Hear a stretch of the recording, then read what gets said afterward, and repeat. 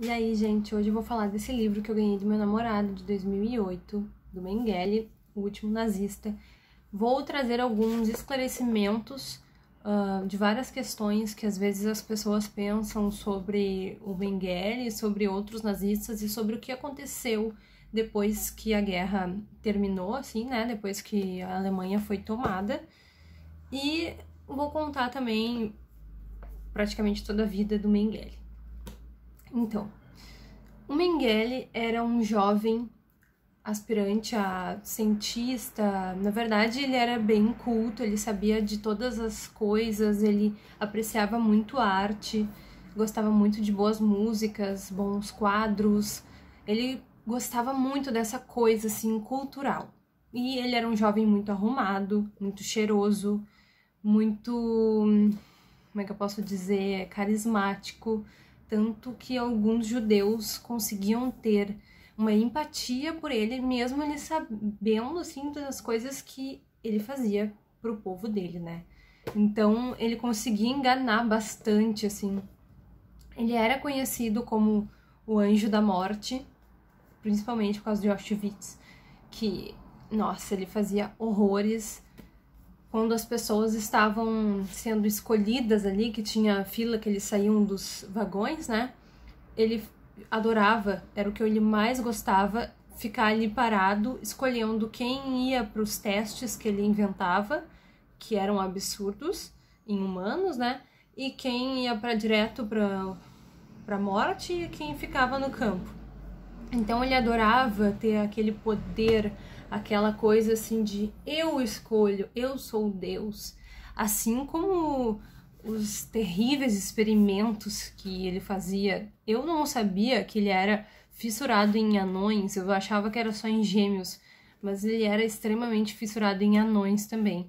E ele gostava muito de entender as coisas por trás só que tem um viés sexual nisso tudo que eu também não sabia antes de ler o livro, que ele sentia um prazer sexual em tudo que ele estava fazendo nas bizarrices. Vou começar pelas torturas absurdas e experimentos, então. Ele gostava muito de fazer, eu achei até bem curioso, por isso eu sabia que aquele filme da Ilsa da SS She-Wolf uh, eu tinha certeza que ele estava retratando várias coisas que aconteciam, que tu olha o filme e tu pensa, não, isso não é real, que é um filme meio pornográfico, mas era real sim. O Mengele adorava uh, escolher as suas vítimas falando para elas se pelarem ali na frente dele, ficarem completamente nuas, tanto homem quanto mulher, para que ele conseguisse também tirar toda hum, o orgulho da pessoa, tirar tudo que resta ali naquele ser que já não tinha muita coisa naquelas condições. Então ele queria, sabe, tirar tudo que tivesse ali de um sentimento de humanidade, uma coisa assim.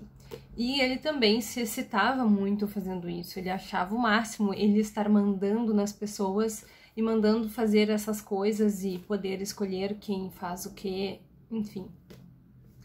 Acontece uma série de experimentos ele se via algum gêmeo já pegava, já falava: "Não, você vai fazer parte do meu projeto de pesquisa e tal", e enrolava a mãe. A mãe achava que, ah, agora meu filho está seguro, e a mãe já ia direto pro forno.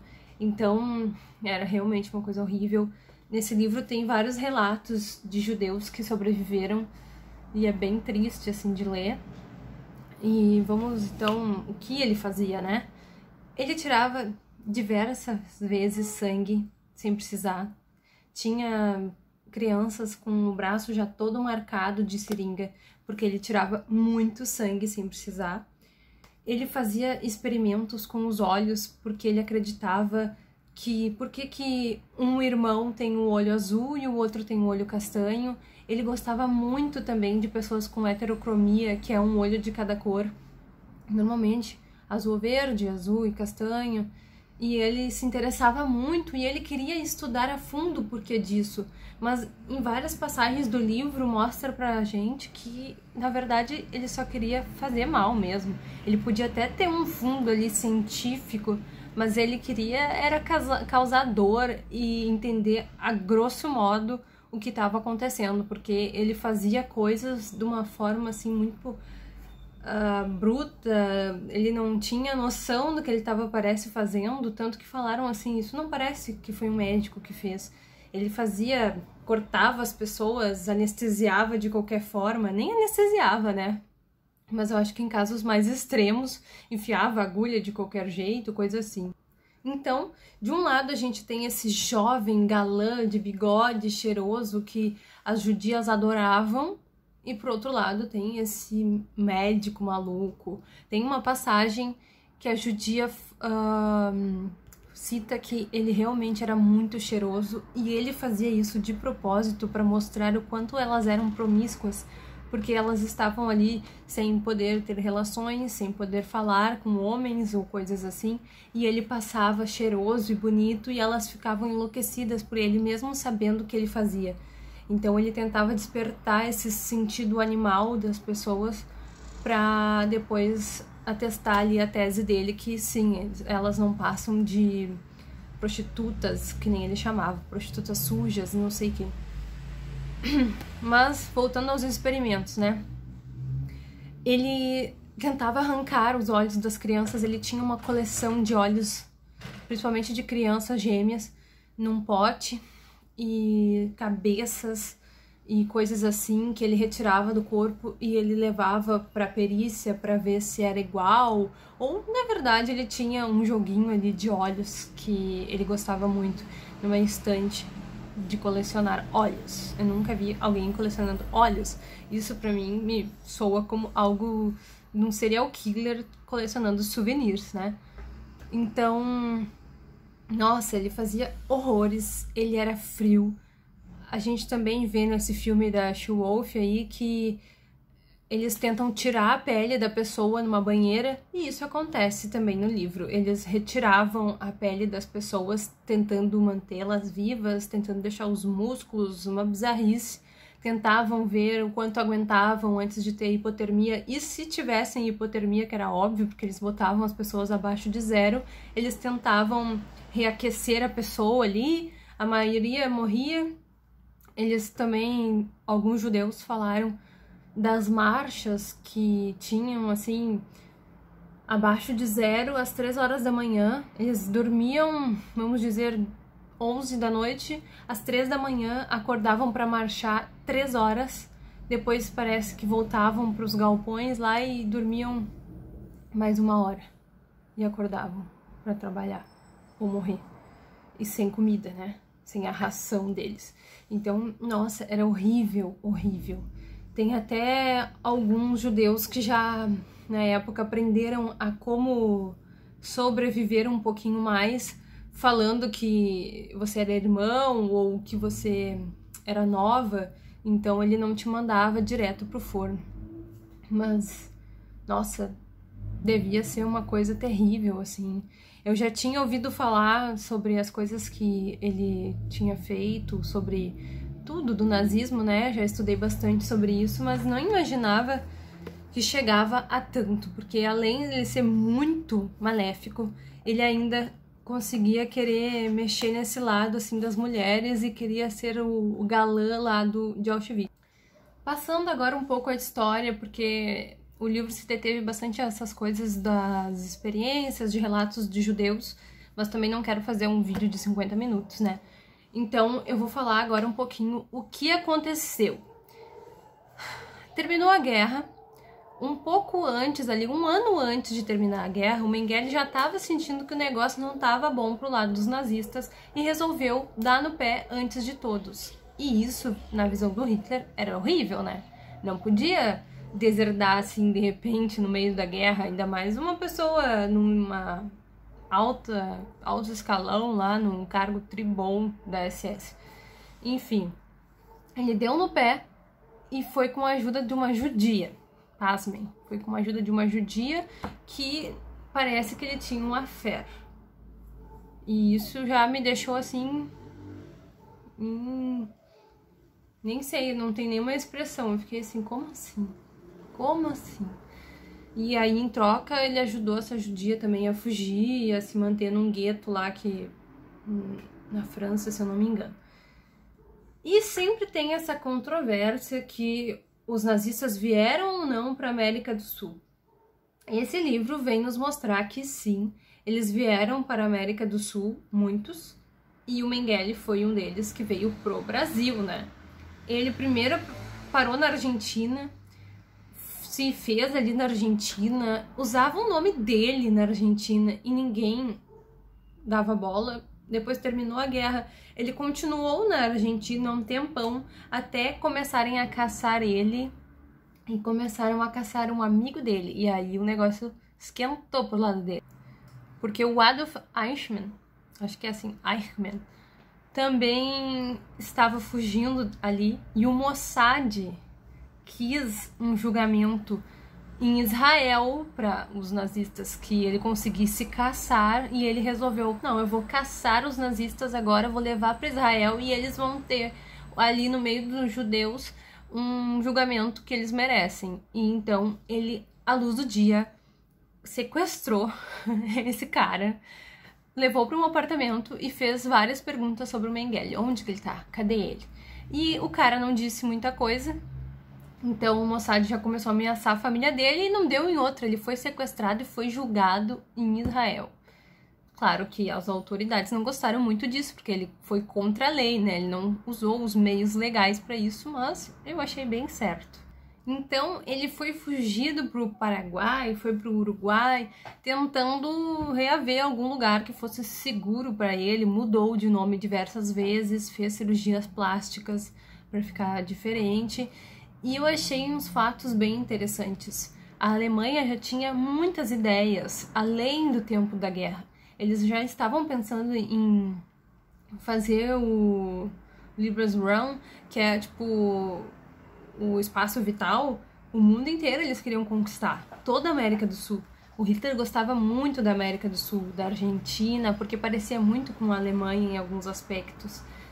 E então, o que me chamou a atenção é que já tinha um nazista infiltrado no Paraguai, que era o Werner Jung, e ele já tinha sido mandado antes da guerra terminar para lá, para começar a implementar um pouco do nazismo e sabe fazer com que as pessoas né começassem a ficar devotas do nazismo.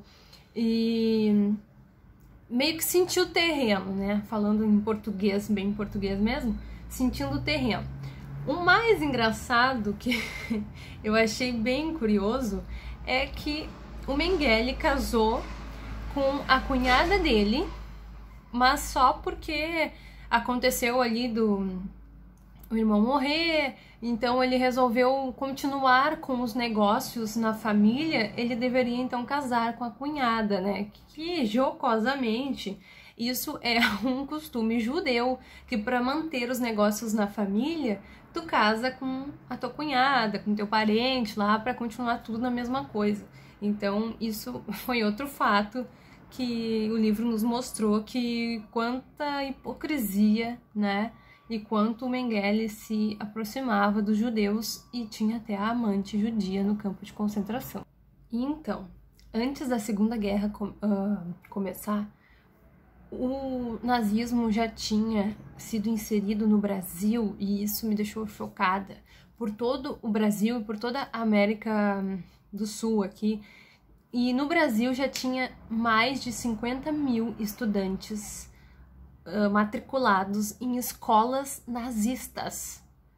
Ainda bem que não deu muito certo, né? Mas é que ele queria, o Hitler queria que a juventude hitlerista, tanto da Alemanha, tanto do mundo inteiro, ficasse do lado dele. Então, com a juventude, ninguém poderia, né? Porque eles seriam o futuro da nação, que era sempre o que ele pensava. Eu vou atingir primeiro a juventude que vão me ajudar no futuro. Mas imagina se isso tivesse dado certo, porque hoje em dia, olha quantos neonazistas a gente vê até no Brasil, lá na Alemanha, cheio de neonazista também. Então é muito complexo isso, né? Imagina se tivesse dado certo. Agora vou trazer alguns fatos que eu achei interessante também, que o Himmler teve uma ideia de colocar os judeus presos na ilha de Madagascar. Certo? todo mundo riu da cara dele e né, inventaram lá a operação final, a solução final. Então ele queria prender todos os judeus numa ilha. Enfim. Uh, o Mengele também ficou com tanto medo, com tanto horror, ele ficou com agorafobia, ele não saía de casa. Quando ele saía, ele escondia o rosto com as mãos. E a mulher dele falava: Olha, tu tá, né, dando na vista, todo mundo vai ver que tu tá se escondendo de alguma coisa e vai achar estranho. E ele desenvolveu um tique, uma coisa assim, que pelos médicos é chamado de benzoar, que eu nunca tinha visto, que ele ficava mordendo as pontas do bigode e ele teve que passar por uma cirurgia no reto para conseguir tirar as bolas de pelo igual os gatos, sabe? Eu achei isso tão hilário, porque olha isso, né? E então ele fez essas cirurgias plásticas estéticas também.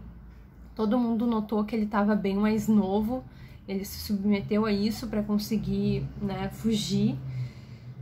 E é muito engraçado porque ele morreu em 70 em alguma coisa, 89 eu acho.